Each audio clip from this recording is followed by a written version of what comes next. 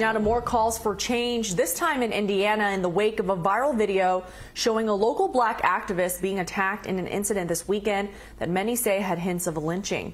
As CBS 4's Laura Podesta reports, federal investigators are now looking into this confrontation. No.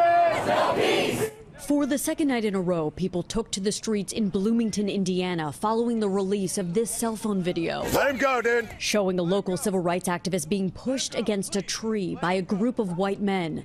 The victim, Vauhxx Booker, called it a racist attack. I think it's undeniable when a group of white men feel that they can call for a noose, uh, call me nappy headed, uh, scream out white power, and attempt to lynch a man in broad daylight.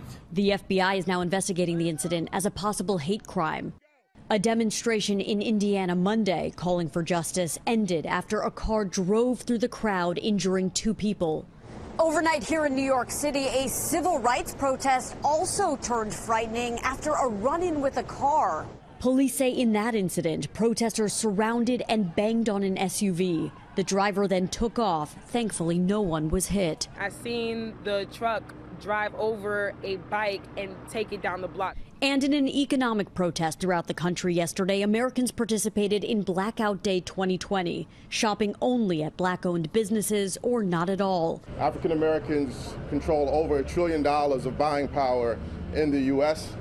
And time and time again, we see that in order to move the needle in social reform, it's necessary to flex that economic muscle. The purpose was to show the impact black dollars have on the nation's economy.